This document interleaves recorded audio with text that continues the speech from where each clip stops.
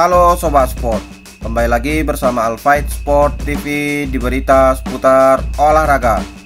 Berikut hasil semifinal Indonesia Open Sabtu 27 November tahun 2021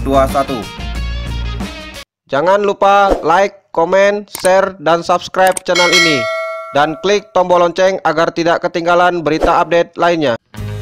Hasil Indonesia Open hari kelima babak semifinal Sabtu 27 November 2021 Pertandingan pertama sektor tunggal putri Wakil Korea Selatan An Seong menang dua game langsung atas wakil Thailand Fon Pawe Chok Wong dengan skor 21-19 dan 21-19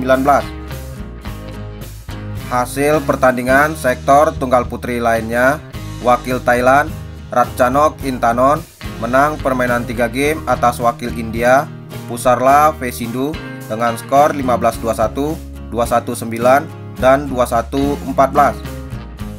Hasil pertandingan sektor ganda putri, wakil Jepang Nami Matsuyama dan Chiharu Shida menang dua game langsung atas wakil Korea Selatan baik Hana dan Liu Rim dengan skor 21-19 dan 21-18. Hasil pertandingan sektor ganda putra, wakil Indonesia Markus Fernaldi Gideon dan Kevin Sanjaya Sukamulyo menang dua game langsung atas wakil India Satwit Sirat, Rangki Reddy, dan Sirak Seti dengan skor 21-16 dan 21-18. Hasil pertandingan sektor tunggal putra, Jonathan Christie kalah dua game langsung atas wakil Denmark Victor Axelsen dengan skor 19-21 dan 15-21.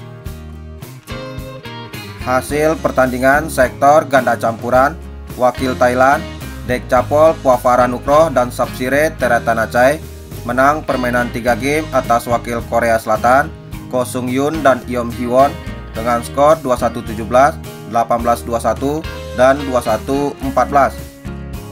Hasil pertandingan sektor ganda campuran lainnya Wakil Jepang Yuta Watanabe dan Arisa Higashino menang dua game langsung atas wakil Denmark Matthias Christiansen dan Alexandra Boye dengan skor 21-16 dan 21-12.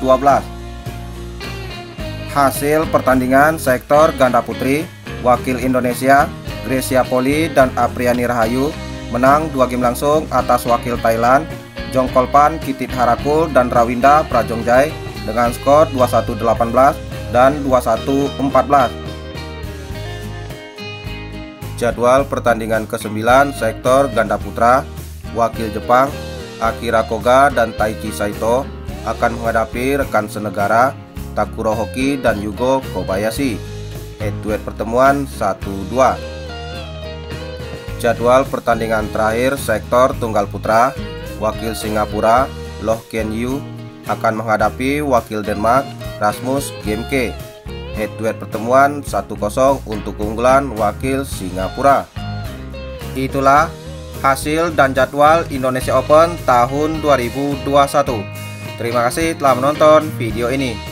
Salam olahraga.